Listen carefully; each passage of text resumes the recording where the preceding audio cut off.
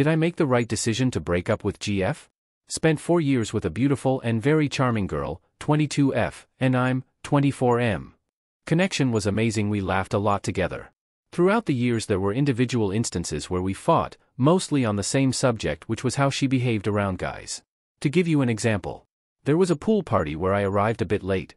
My GF was completely drunk slurring her words and she told me with a huge smile on her face a guy was flirting with her and was putting her hand on her thigh. That triggered me and I asked her what she did about it and she said nothing because she didn't want to make it awkward. She would frequently give out her Instagram to guys at the club follow them back and sometimes text them, she would show me the messages. It's happened three times she would dance or play with guys she met at the club thinking they were gay and turns out they weren't and tried to hook up with her. She would tell me. She confessed once that she liked it when I was hurt because it showed I cared about her.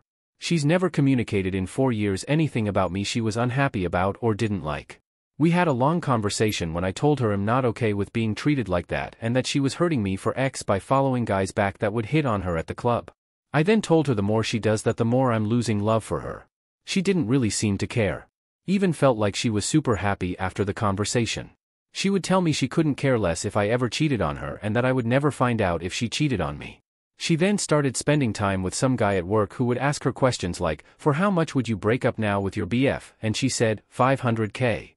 She told me this story on several separate occasions. They started seeing each other Friday evenings, just the two of them, until like 3 a.m. he would walk her back to her place. I told her I wasn't comfortable with her finishing that late with a guy she's known for a couple of months. She said okay. Next weekend she texts me she's seeing this guy again on Friday night. I tell her again I'm not comfortable but she's free to go if she wants to.